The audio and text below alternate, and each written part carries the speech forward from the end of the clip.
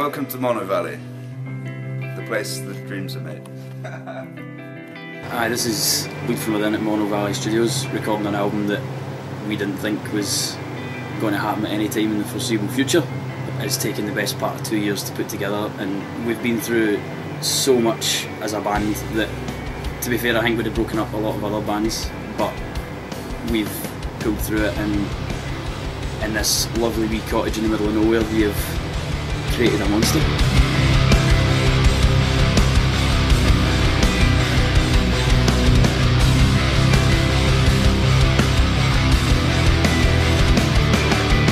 Basically, we've got Ali set in the background, uh, tracking his drums, doing a fantastic job. He's playing so tight, which is great. Uh, Romesh wanted a, a more like organic live feel to the drums, so instead of uh, Ali recording to scratch tracks, uh, you've got all of me, Davey, and Goonzi sitting down here, just running direct with the Axe-Fx is. Uh, I think Davey's only running with his SansAmp, and uh, sounds fantastic. it's everything that we wanted as a band. Like we pride ourselves on our live show and recordings in the past, like albums we've done before at the Humanity and Empire. It's always sounded really processed, and that's not really us. It sounds like a band playing in a room, and that's exactly what it was. Like for the first time ever as well. Like I'm not playing along to guide tracks on this album. We had a click track, we'd set out all the click tracks, and we'd spent months practicing that in the studio, and then we came in here, and in front of me I had Davey. Goonzi and Martin, everyone was just set up and we just we basically jammed live. It was a jam session and that's exactly what it is and the recording captures every single bit of it perfectly. All this space is mine. We spent like a full day getting sounds on drums, just Evans sent us a bunch of heads and uh, Romesh was producing the album, he got like a bunch of snares and there was a bunch of kick drums to try out and stuff so we done that all day on Tuesday and I mean we've never done that before, this is we've never seen a studio like this ever. Made this impressive wee kick tunnel thing here with the wee leopard print pillow on top of it. That's essential to the tone of the album, the tone of the kick. Uh, all the fairy lights obviously because I'm metal as fuck. We've got one of the best live rooms in the world. I mean, we've got that. The studio in there is just phenomenal, and then like behind where I was playing drums, there's this there's a glass room that's just it's got like a bunch of natural, it's just natural reverb basically. This is just all for natural, re uh, natural reverb on the drums. So Romesh stuck a bunch of mics in there and it's just made the kit sound massive. It sounds like I'm playing in a, an arena, like a church or something. It's, it's incredible. There's a Gretsch kick drum there. It's 24 inches. I usually play 22, so it sounds massive. There's three mics underneath all that bedding at the front of it, and the sound is incredible. It sounds like it's been triggered or something, but it's, it's not. It's, it's all 100% natural. Toms, I'm using the kit that I play live, the Yamaha Rock Tour. They sound incredible. I've just actually swapped this tom over. We're just going to do some overdubs for the interludes and an intro and stuff. So we've got a 18 inch floor tom from a Pearl reference kit. Snare is a Pearl reference as well. This gets so much beef to it, so much balls, which is what we wanted in this recording. We didn't want anything that was too thin or would just sit on top of the mix. We want everything to be in there or heavy and beefy. Aye, cymbals, Sabian. I've been with Sabian for years and they sent me out a couple of things to try out in this, the accelerator hi-hats, which so heavy man. it's amazing. The Holy China as well, that's everyone's gonna notice that when they listen back to the album. We just made these as well.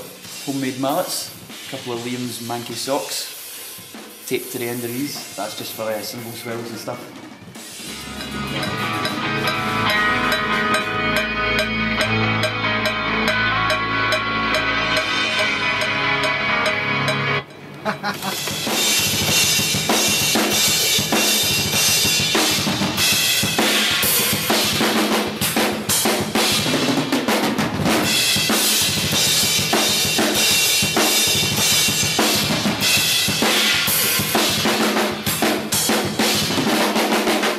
Got uh, Romesh producing the album, Romesh from Longwave Studios.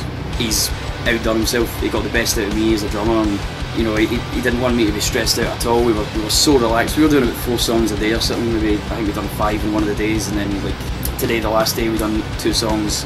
It sounded massive. He just he knew exactly how to get the best out of me as a drummer, and I, I've never experienced anything like it. But it sounds so heavy, man. So heavy. It's incredible.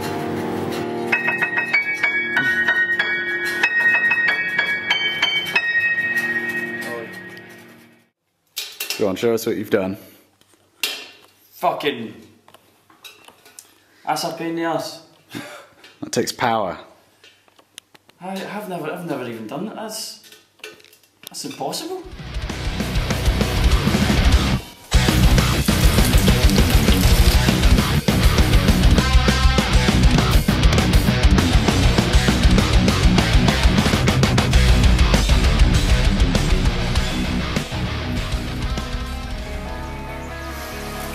Finished the uh, drum tracking today here at uh, Monnow Valley in Wales. Uh, it sounds incredible, uh, way better than I think all of us could ever expect.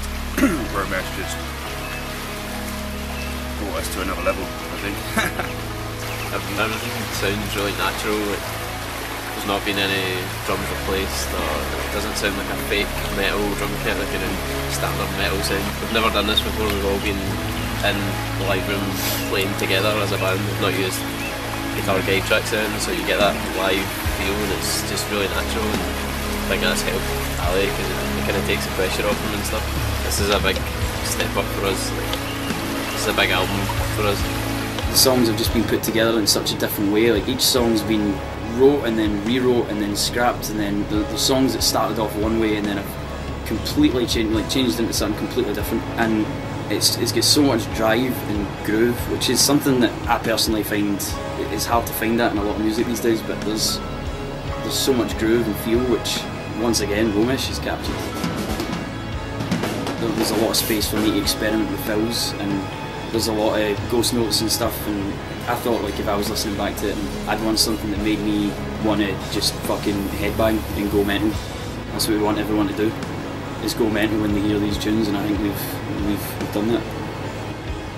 As a band we've always wanted an album that sounded like this. Like we just know it felt right. As soon as we done the first song we came in and listened back to it, like we just all sat here at night with a few cans and we just sat with Romesh and we were blown away by the sound of it all lyrically it's it's it's taken into consideration every single emotion that we've felt over the past two years and the stuff that we've been through as a band.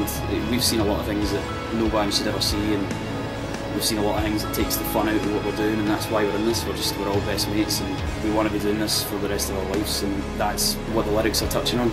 It's powerful stuff and I think that everyone's going to be able to notice that. This album, the third album, is effectively a fresh start for us as a band given all the stuff we've been through and we've now moved record labels, we've got the new albums coming out through Century Media. Team we've got behind us, like we've met we met all the label at Download this year and it's just incredible to have a label like that that's so into the band and so much faith in what we're doing. At this point in the band's career, we've got such a good team behind us just ready to put this album where it needs to be and it's a statement that we've been wanting to make for the past two years and it's finally here. I can't wait till everyone hears it.